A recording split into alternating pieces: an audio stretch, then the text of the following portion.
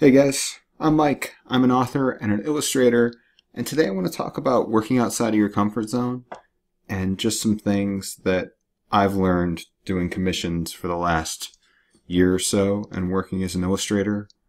Uh, so I just want to talk through that stuff while I make this proof of concept.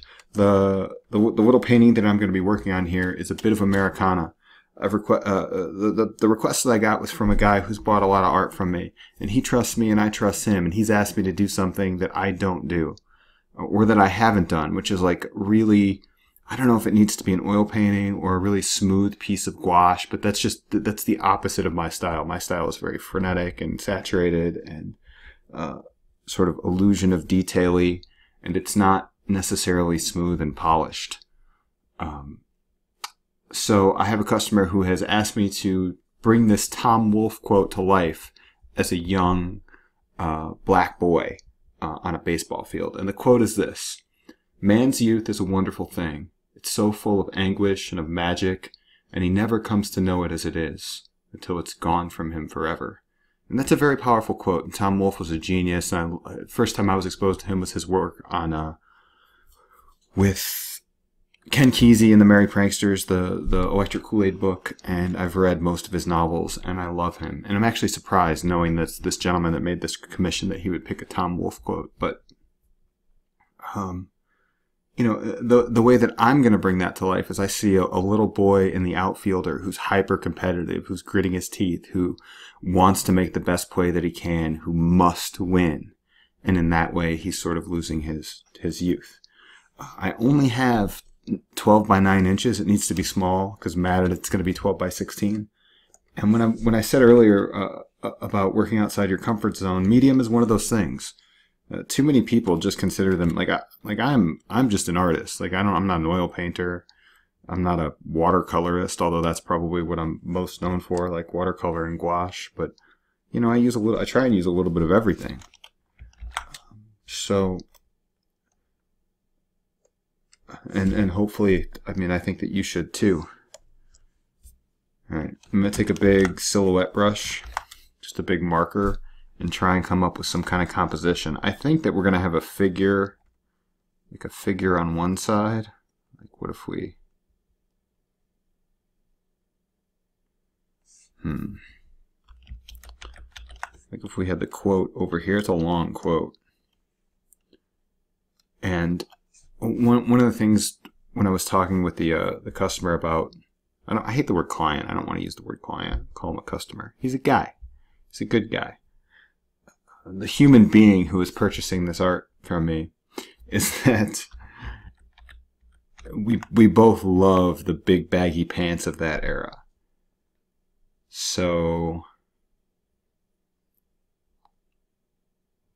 this isn't a ton of real estate to get the to get the boys the boys pants in there.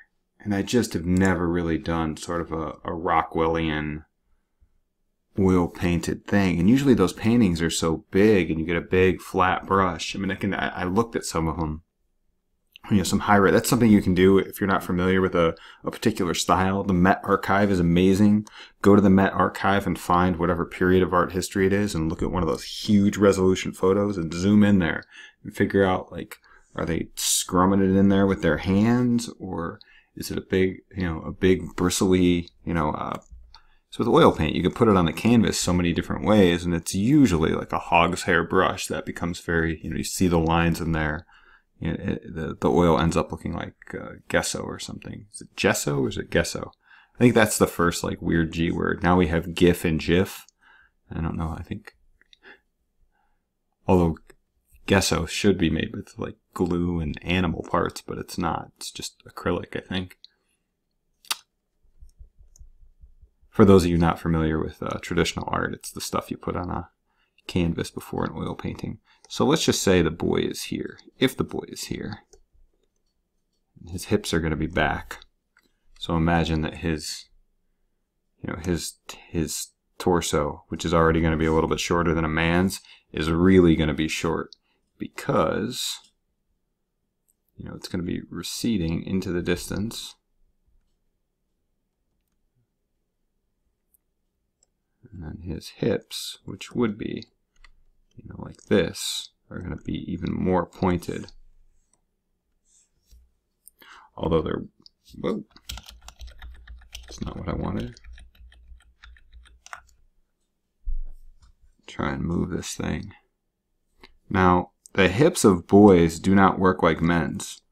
They are uh, much more flexible. So if a, if, a, if, you, if you look at a boy in an outfield, his legs will actually look a little bit more bowed out and skinny than a man's. And uh, his knee is turned that way. So let me get those lines like that. Just just a touch of that. And then his shoe is going to be that.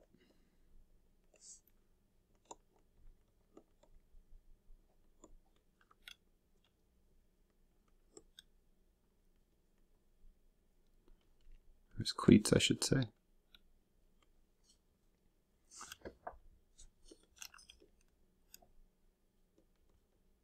And since he is bent forward, it's going to seem like he has more traps than he normally would. Doesn't really have any traps, but oops.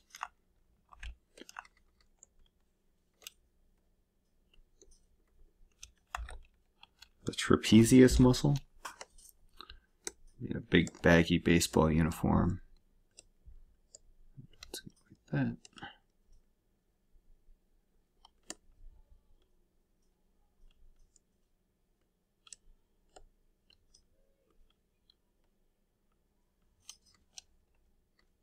Get some kind of flesh tone. Just got a little. So we talk about pose and posture. He's probably going to be like this.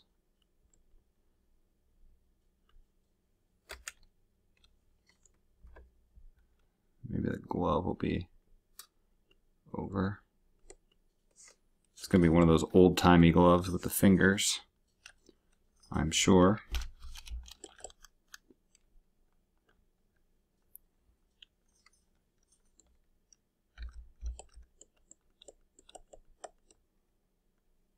This uniform.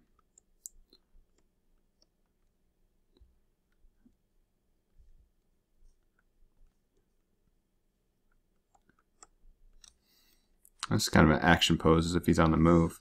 Maybe he's going to be looking. Ooh, that's a good. That's a good idea. Here we go. Light bulb. What if? Whoa. I'm also using a brush that's like 300 pixels. Don't do that. So what if he's looking up like this? I know he's going to have a red hat. It's going to be red and crimson because that's And that bill is actually going to be up like that. We can see the underside. Wait. So this is his hat.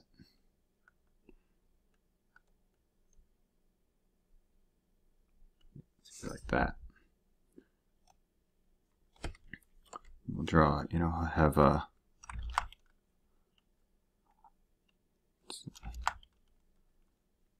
a type of super intense expression, right? And of course, we'll give him cleats and the, the you know the sock things like that. Red and white uniform. Gonna, you know, he's gonna have a stripe like this uniform is going to be pinstriped and white colored. The uniform is going to come down like this. This obviously does not look very old-timey by any stretch. We give him like a red turtleneck probably. And then red sleeves. Come on. Really had a lot, I feel like you see a lot of layers And then for the pants, probably be some type of super desaturated orangey yellow.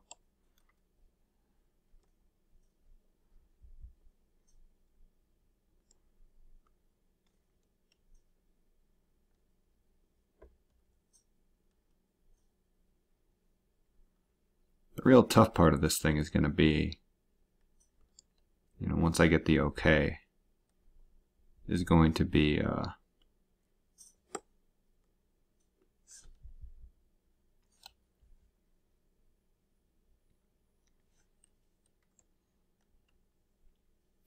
the style of it. And there's so, and it's funny because I, I really pride myself on being able to pull off a lot of different styles, like without issue. I could do this really graphic, really angular, you know, super digitized, or I could do it as a pen and ink drawing. These are things that, you know, I'm kind of, I don't want to say an expert, but that I'm very familiar with. Ink drawings, my own mixed media style, all kinds of things. But like a smooth oil painting, I mean, I know how to do it. Go get the turpentine out of the garage, but God, I hate oil paint. I think that's what this has to be, right? All right. So I put some white pixels in there.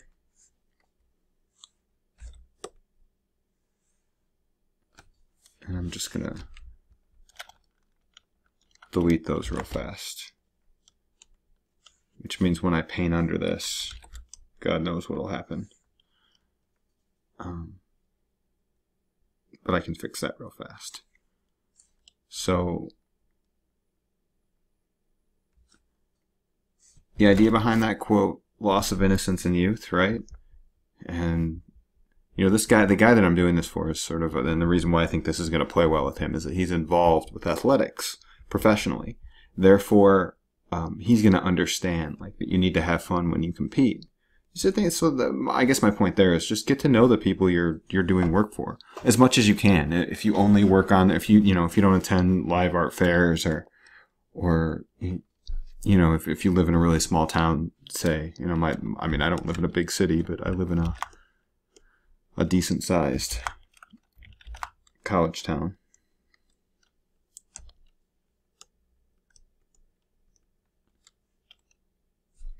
And, anyways, I, th I think that this will, I think the concept of it will work, but now we have to turn it into a painting.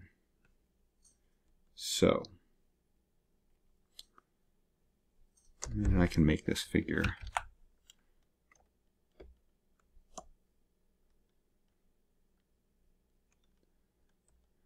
I think he wants the cleats on there too.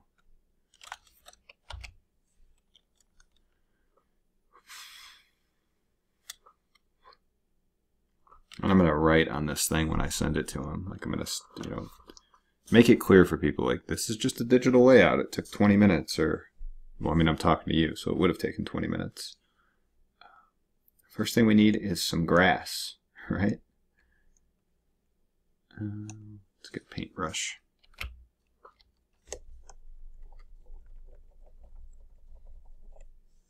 Uh,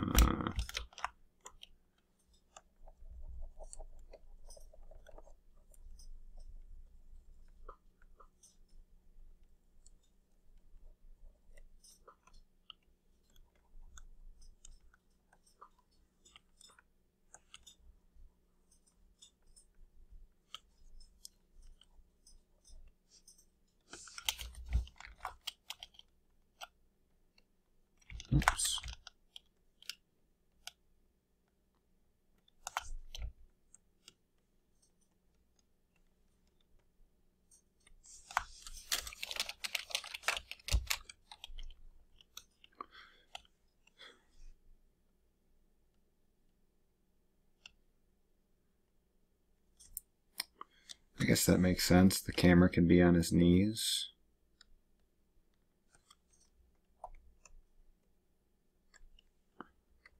So we know somewhere back here there's going to be a fence.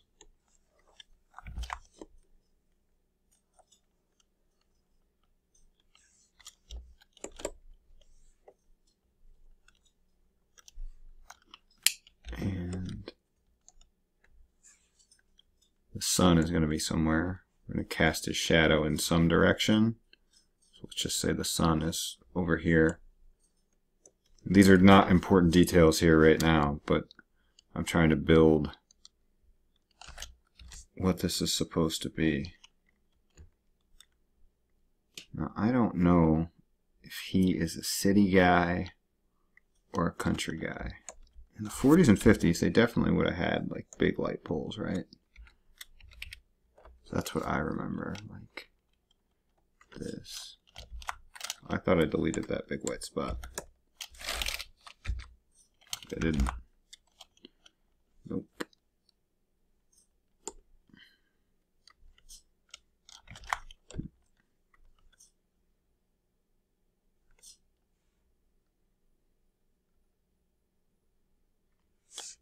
I mean, because if this is a, a 12 year old, he's probably going to be closer to the fence, right?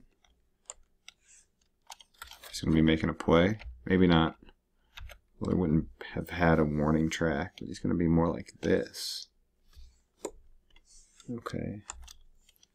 And then in the background, you got kind of oranges here, so we want to do maybe just blue toned buildings in the distance. I don't know. My little league field as a kid, it was a see-through fence, like a chain link fence. And you could see the cars there. And every time a, hit, a kid hit a home run, a car would get hit, which is just a like who would park in that front row? It's not like people were hitting them three rows back, you know.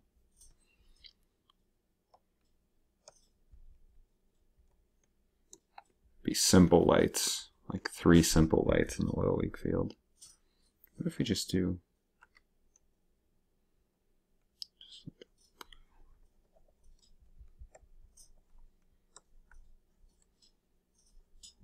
go back and fix those stupid pixels.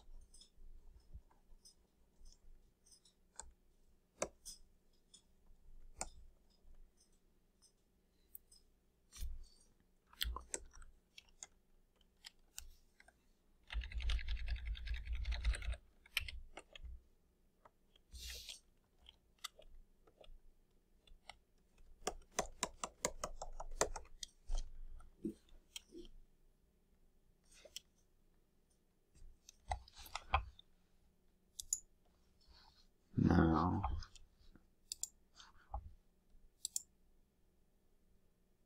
I think I have a font here. I think.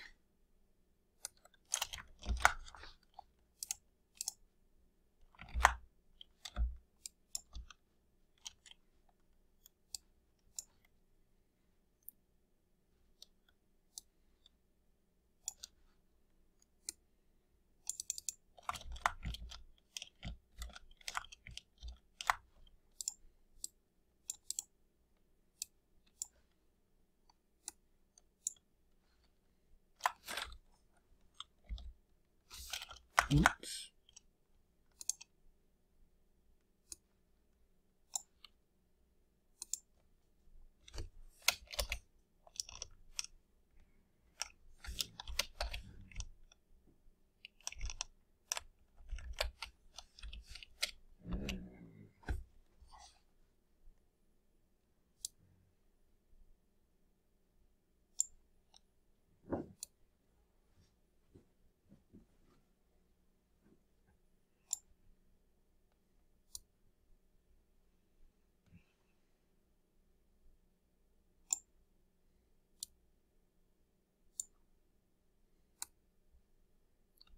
So give me a good excuse to keep that as like a simple blue sky.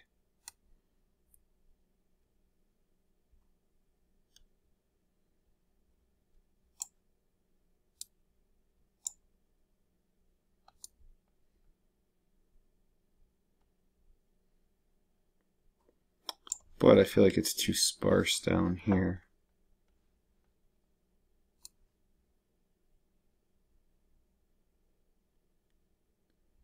Probably just make that blue sky.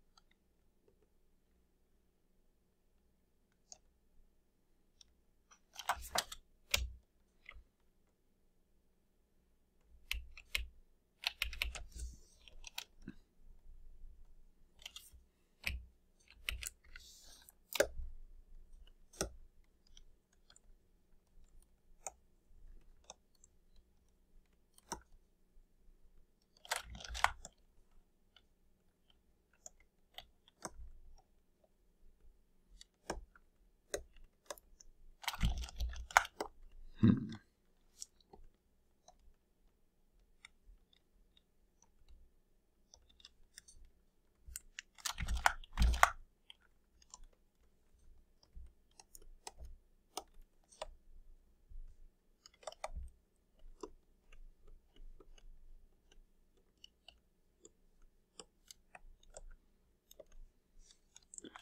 All right. So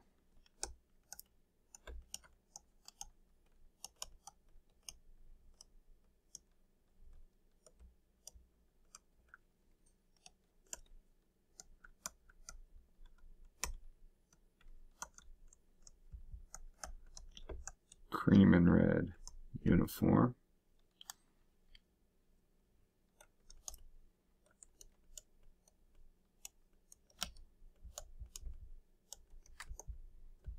That's an inside joke. We're trying to decide on a skin tone. He's a basketball guy, I'm a basketball guy. We decided on John Starks tone skin. Okay, so it's like like he's just started moving on the ball.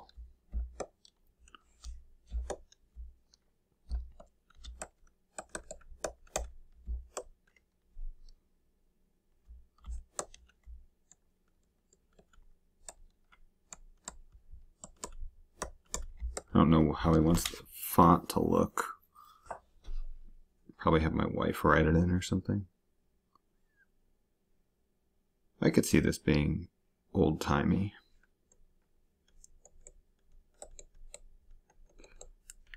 Rickety park fence. It's a park league.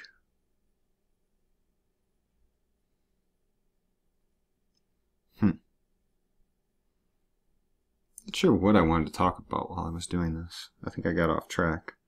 Oh, getting out of your comfort zone. I mean, I obviously didn't try and execute anything stylistically. We're just roughing something out to see if. Yeah, this is always a good idea. If someone's commissioning you for a painting, to just like show them the elements in place, and they may be like, "I hate that." As long as you under, you have to explain that like it's not going to look like this. This isn't a style thing. This is just a quick digital mock-up. That's not John Starks skin. That's not John Starks skin either. You know,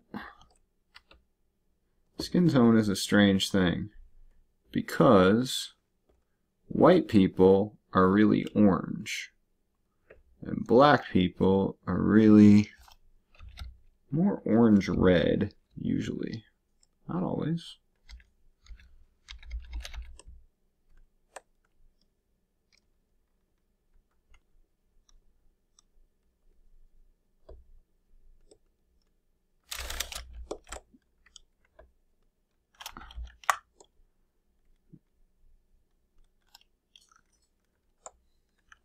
Trying to add in a few details here.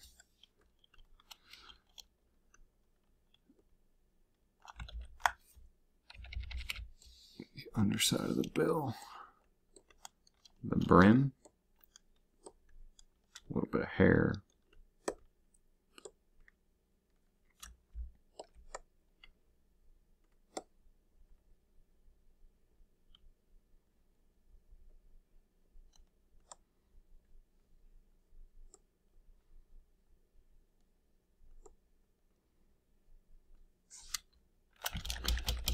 That wasn't a good idea. Oh, I'm dumb. Here, watch this.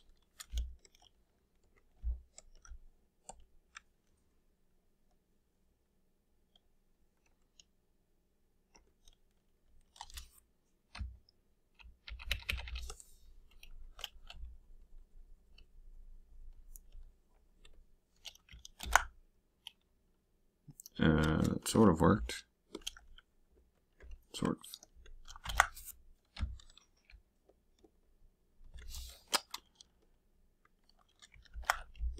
Super important consideration when you're doing stuff like this is like, can I paint this with the appropriate? Can I paint a, a facial expression at this at this size, like knowing that it's nine by twelve? It's one of the great advantages of digital art. It's like I can just up the resolution and put as much detail. I mean, well, I guess that's one of you can become a victim of that too with digital art, where you up the resolution to so much, you're painting in all these little pixels that nobody is ever going to see. I used to do that all the time, comic book coloring, like trying to get all the lines absolutely perfect. It's like no one's ever going to see that. What are you doing? Oops.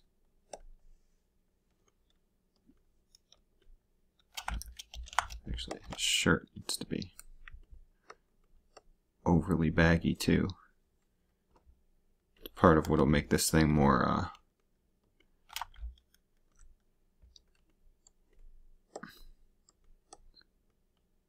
believable.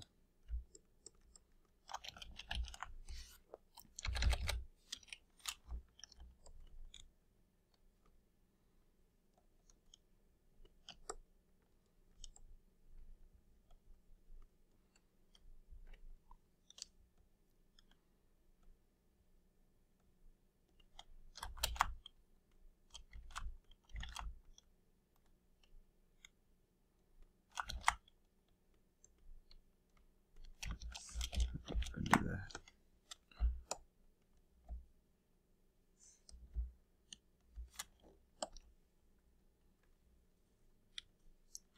I wonder if I have like a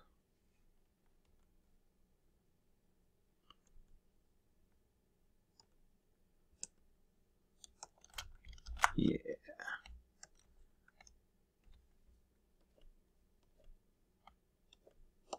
Just something to make it look kind of like wood.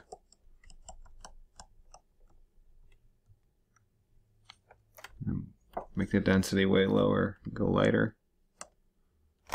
Although, even though this is a tiny brush, it's still huge, which is weird. Let's make it red. What this, do you look like?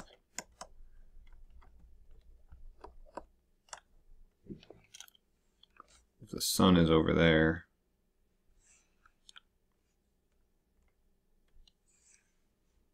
hmm. So this thing's probably arced.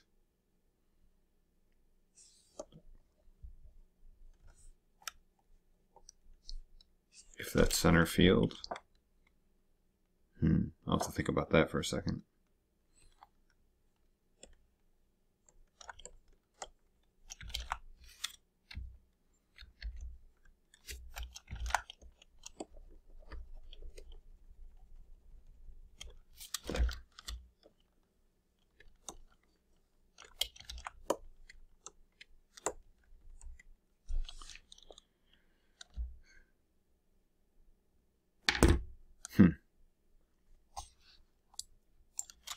Does that embody the quote? And what we can do is just find something to make it look a little old-timey.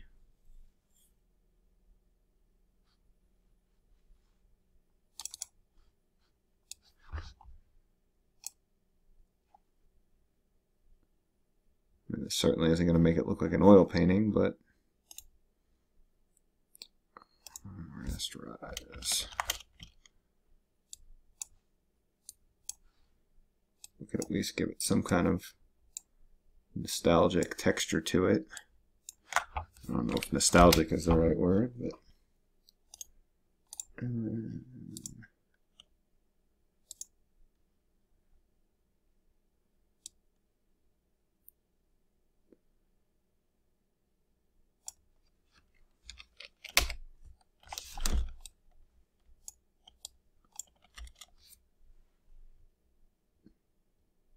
See how much that gives it just like, it just, it gives the illusion that I spent way more time on it than I did.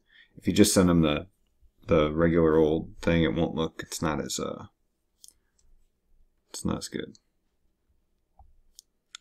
And one little step like that makes a huge difference. And then it makes the light look like light and there appear to be some dark spots in the grass. And you saw what I did. It was just a bunch of scrumming and like, you know, took a few minutes. But yeah, all right. I think we touched on some, some interesting things. I will, uh,